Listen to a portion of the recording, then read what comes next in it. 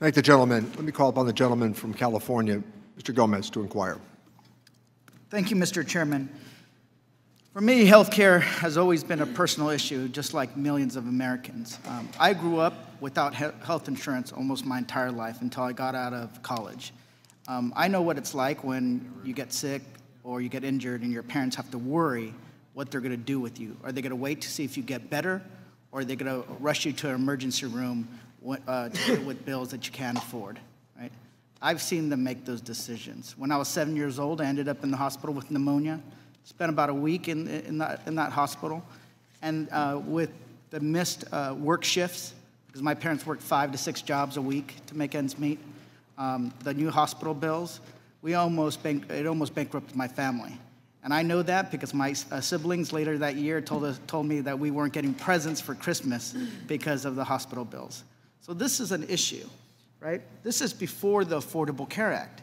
And since then, we've had millions of Americans covered through Medicaid expansion or Medi-Cal as it's called in California, covered, uh, covered California, the marketplaces have been established, and you've seen improvements. But the improvements aren't enough. I have a constituent, Janetta Costa, who passed away from cervical cancer. And she had private insurance. But when she tried to make an appointment when she knew something was wrong, she couldn't get an appointment. So where did she turn? She turned to Planned Parenthood, who got her in the door quickly. And once she got into the, uh, through the door, they did the test. But unfortunately, that test showed that she was at stage four cervical cancer, and she would lose her battle with this disease. Know, to say that uh, everything is peachy king and everybody has access is missing the point, right? And then at the same time, people say, you know what? We are for providing health care. We care about these Americans. But then why are you trying to repeal the Affordable Care Act? Not, you know, once, twice, but almost 70 times trying to repeal the Affordable Care Act. Right? That is, in my opinion, shameful.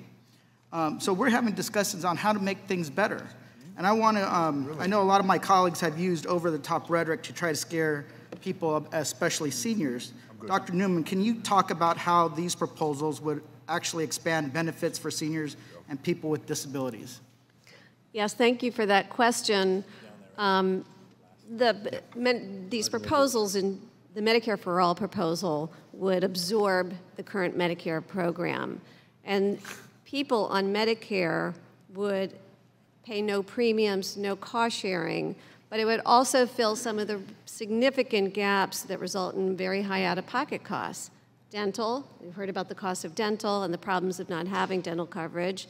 Vision, but the big one is long term services and supports, which most people on Medicare really cannot afford.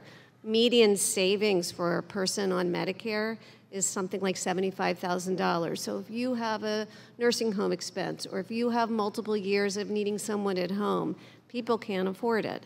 And so what these proposals do is they fill these gaps so that people can afford the care that they need and reduce cost sharing requirements. They also, by the way, would extend to other people protections that are in Medicare, like no surprise bills, right? Medicare is protects people against that a broad network of providers. So it, it does more for people on Medicare, but extends the Medicare protections that has made Medicare so popular to younger people as well. So you think uh, the criticisms and the rhetoric that's been used is uh, um, that seniors shouldn't worry about their health care if a new proposals come forward? I think under these proposals, they would get a lot more. They may pay more in taxes, but they would certainly get more in benefits. Thank you. As I mentioned, um, healthcare is personal, but my, it's also personal for my district. I have 74 delivery sites for community health centers, 10 hospitals. Um, these centers play a critical role. Ms. Brooks LaSure, how would the proposals we're discussing today impact community health centers?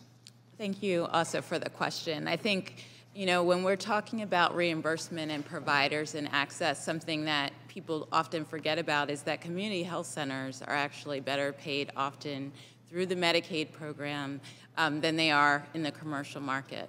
And, um, and many of the proposals that are under discussion today certainly um, have it, it still have employer-sponsored insurance and private insurance companies operating. They just have may have more requirements to make sure they're covered.